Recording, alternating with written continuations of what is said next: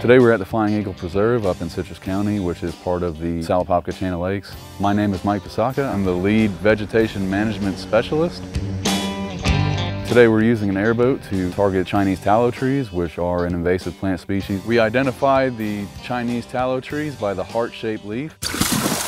Today our herbicide treatment method is the hack and squirt method.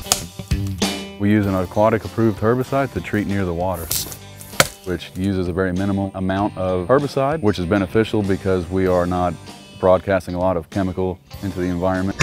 Hack and squirt is a method where you use a machete or a hatchet and you put a couple hacks on the bark and inject your herbicide into that hack. The Chinese tallows, they impact the environment because they disrupt native plant communities and they can form very thick monocultural stands that can shade out and outcompete native vegetation.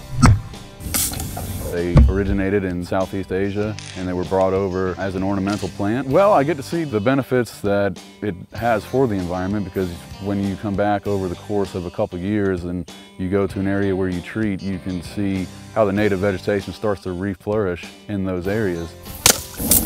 It is our goal to minimize the growth of invasive plant species in order to protect our natural system and ultimately our water resources. I take a lot of pride in that.